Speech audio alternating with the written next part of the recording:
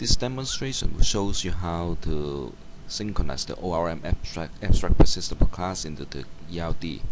And we, so we first create a class diagram with an ORM abstract persistable class. Okay, we just use the default the untitled as the default package. And now we create a subclass.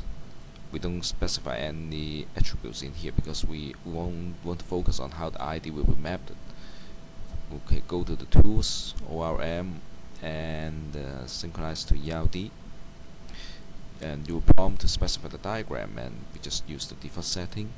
And next you can specify you can select how the ID column will be mapped and again we use the default setup.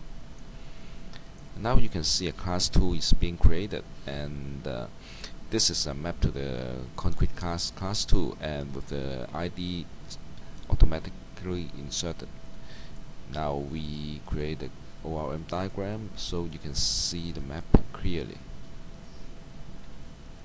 Select the class and entity and drop it to the diagram. Now you can see the the class the abstract persistable class have a subclass class 2 with the you can see the attributes. ID attributes is created in the superclass and the concrete class with its mapped the entity. The class 2 with the ID column inserted